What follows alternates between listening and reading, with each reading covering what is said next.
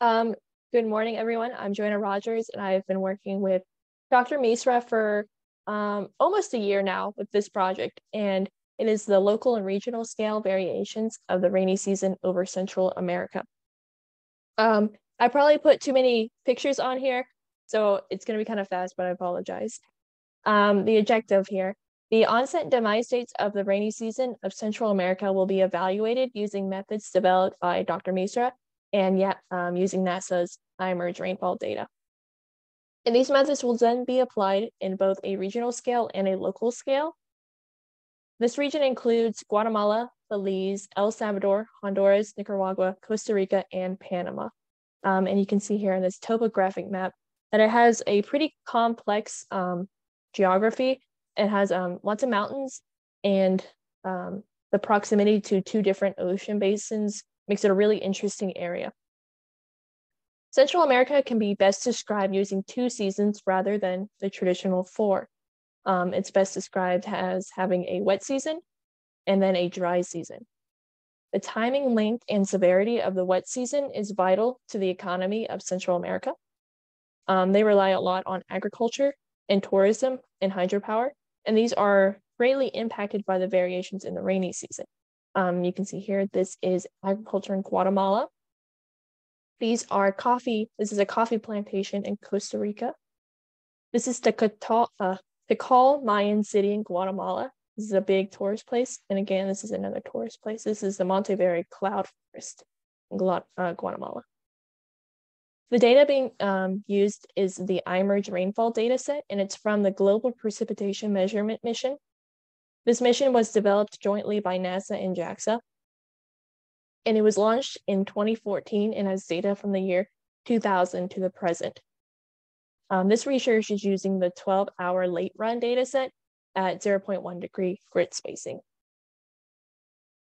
The onset demise dates of the rainy season are defined as the first and the last days of the year when the rainfall rain rate exceeds and falls below the climatological annual mean rainfall rate. It's a lot of words. Um, It'll make sense here in a minute.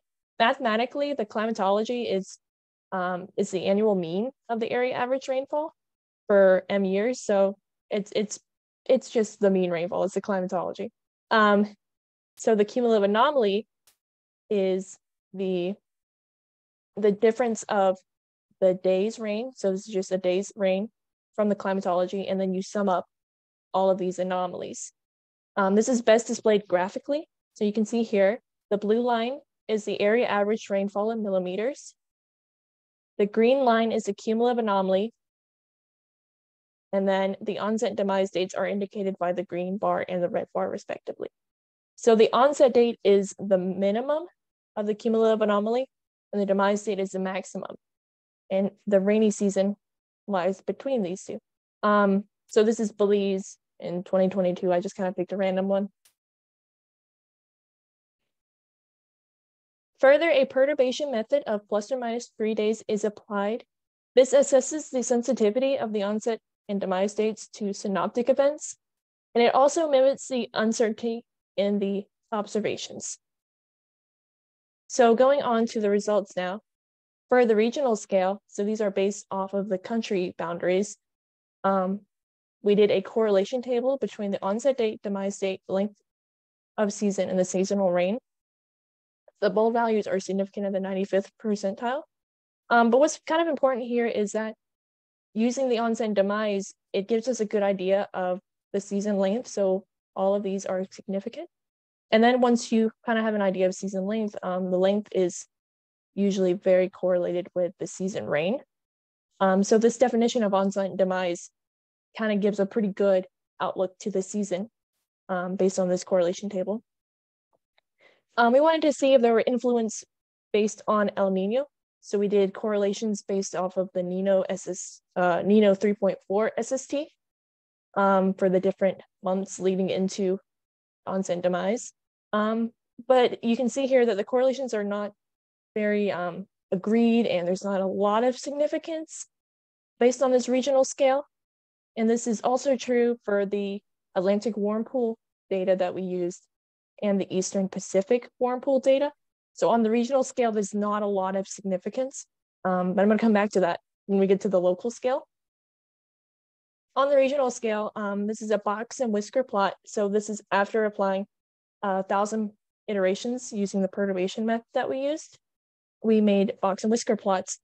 And you can see um, just following the median of the box and whiskers, there's um, clear season, seasonal variations in all the years in all these regions. Um, further, um, this is also seen looking at the demise dates. It also has all the same variations in the cycles. This is the length of season, and of course, it also will follow the same by definition. And then the season rain, it still has the same kind of a cycle going on. But what also is interesting here is that the slope of the season rain is decreasing for the 22 years of data that we used. Um, so that's something interesting that we might look further into. Moving on to the local scale, this is a map of the average season rain or onset, sorry, the onset for the years 2001 to 2022. So looking down here in like the Panama region, it has, it tends to have an earlier onset compared to like Nicaragua.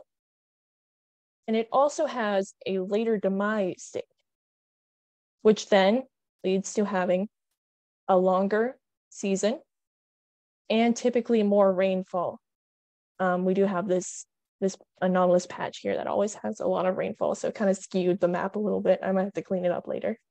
But um, you can still see it does have more rainfall. We also did correlation maps here. So this is a correlation map between season onset and season length. Um, the white dots are significant at the 99th percentile, and the black dots are significant at the 95th percentile. Um, so there is a ton of very significant correlations in agreement. Um, so finding the onset can really tell you a lot about the season length and also the season rain. There's a little bit less agreement, but still um, a lot of significance. We also did correlation maps for the Nino and the um, warm pool data. So whenever I was going over the um, regional scale, there wasn't a lot of correlations, a lot of significance, but it at the local scale, you can see there is a region where there is correlations. And that region is still there when looking at the season rain using the same index. This is for the Atlantic warm pool area. So the season length of the Central America rainy season and the warm pool has this region, which is kind of an interesting region. It kind of follows the mountains a little bit. Um, and this one's really scattered. This is the season rain with the Atlantic warm pool area. Um, so it's interesting that the length is correlated in this way, but the rain is correlated in this way. I'm not sure why it would be scattered like that. Um, this is the season onset with the Atlantic pool, warm pool onset. Um, so general agreement and strong correlations for the center. Moving on to the East Pacific warm pool, um, it has a very strange divide. So you have all these positive correlations up here and then negative correlations down here. Um, again, just kind of showing the scattered nature of the correlations. But there is general agreement when looking at the season rain with the East Pacific warm pool demise. Um, overall, we looked at a lot of variables here.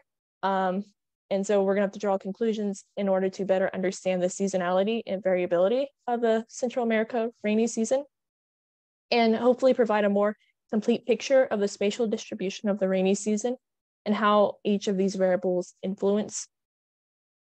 And then we hope to use these correlations to provide a seasonal outlook prediction. The next steps are gonna be to complete the literature review and write um, and we also hope to perform tests in order to quantify how the results may lead to a better season predictions. And we um, hope to further examine the implications of the Atlantic warm pool, East Pacific warm pool, El Nino, the ITCZ, topography, and the midsummer drought on the rainy season. Um, I kind of went through that really fast, um, but any questions or comments?